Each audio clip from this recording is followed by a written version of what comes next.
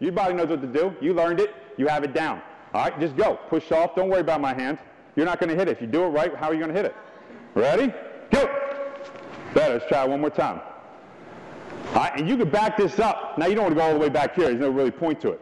All right, but the first couple steps is what I'm looking for. Is he going to come up, go underneath, or is he just going to come up and then take his head off? All right, that's what I want to see. So I'm videotaping just like all the other guys.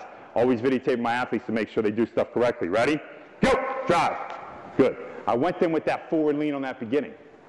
All right? We watched them 100 meter dash runners, as Usain Bolt, Tyson Gates, all those guys. They come out and that nice, beautiful lean. They're nice and low for whatever it is, 30 meters, whatever, however long they go for. They look great. They accelerate. They accelerate. That's their acceleration phase. They're getting out. We need to teach our athletes that. Now, it might not be that long for athletes. Like I said, it's only five yards, but they still got to be able to accelerate out of that position.